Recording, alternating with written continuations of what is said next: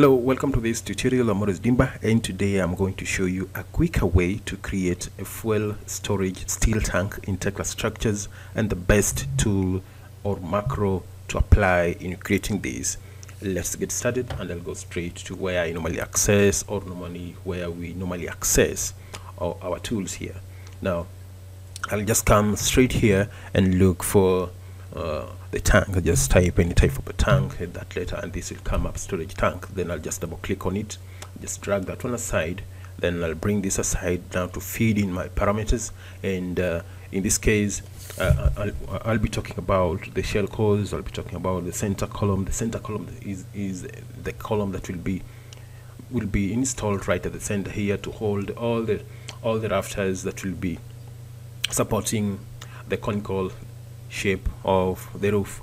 And also the spiral stairway which will be tackled later on. So today just to I want just to let us uh, to let you know on uh, on a way to get started right away. Now if you take a look on the on this you, you can see we have parameters and we have the general. So on the account layer this is the shell courses which we have one two three four and 5 we have uh, approximately six of them. One two three four five six. There should be six and the thickness of the plate we've uh, should be uh, approximately 20 millimeter thick. And uh, the radius here you can feed maybe if you want 20 uh, 20 meters radius or a, uh, or 40 meter diameter you just feed 20 right there. So in this case we'll, we'll work with 30 meter diameter. So in this case we'll feed 15 meters radius. And the angle will just leave it at 40 or number of plates you can you have options. Arc length you can feed the arc length if you want you work with, if you want to work with arc length if you want to work with the number of plates it's optional but i normally prefer working with the angles. It's easy to adjust and uh, to, to, arrange the course the shell courses and uh, play around with everything. Now in this particular case we have the shell courses count six and the rotation of 20 here. Now we'll come to parameters. Inside parameters. Here we'll feed. This is uh, by default you'll find this empty. So it is upon you to feed whatever you want here. So this is the thickness of the plate and this is the height of the plate. The height i mean the the course the uh, the, the height or the width of the plate from this end to that end so what I'm, what I'm going to feed here is just the thickness of the shell course plate. So once I've fed it there I'll just right click and come to copy and I'll feed and I'll paste it here. I'll just go ahead and paste everything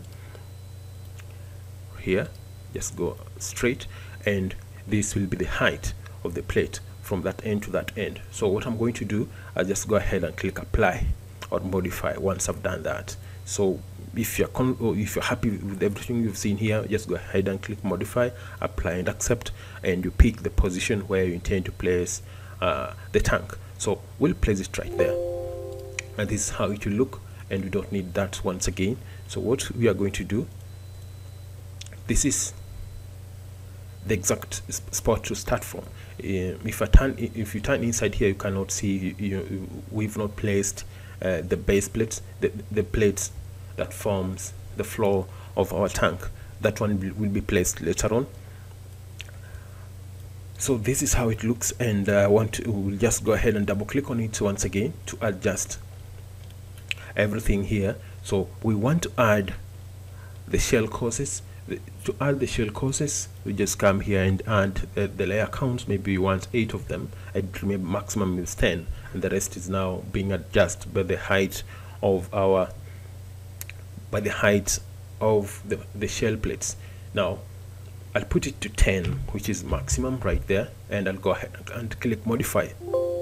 And you can see the adjustments it's very small and because we've just added some few courses on top and we've not uh, we've not defined their specifications. Maybe the thick uh, the thickness and the height or the width of the plate. So it has picked the default settings for the added courses. Now what we'll go we'll, we'll do we just go back to parameters and we'll copy this select on this and add to the added uh, courses. So I'll go ahead and, and paste all this here. Paste all that here. Paste all that here. Then we'll come and add the height of of the plate here just paste. Paste them here then go ahead and click modify and apply and you'll find it being uh, reflected here. So this is the, the default color and this can be changed by just double clicking on the screen and coming to the presentation here and and and pick here and come to and come to you pick uh, uh, the best color for you. Maybe you want the gray that one and apply and give it an OK and this is how it will look now in this case. But I do, I'm not happy with this. I would prefer the default setting. So I'll double click here and come back to where I was and uh, pick on this and uh, pick as is. Apply modify and I'll be back where I was. So I'll right click click here and, and uh, apply and fit everything to working area so this is how this one will look. And next uh, tutorial or the next step I'll be showing you how to place how to place the bottom end plate that forms the floor of our tank and how to place the center column that will be holding the rafters for the rooftop of our tank. And also will be uh, I'll be walking you through on how to create uh, this uh, the spiral stairway for for for a steel tank. Here you can see on the screen here.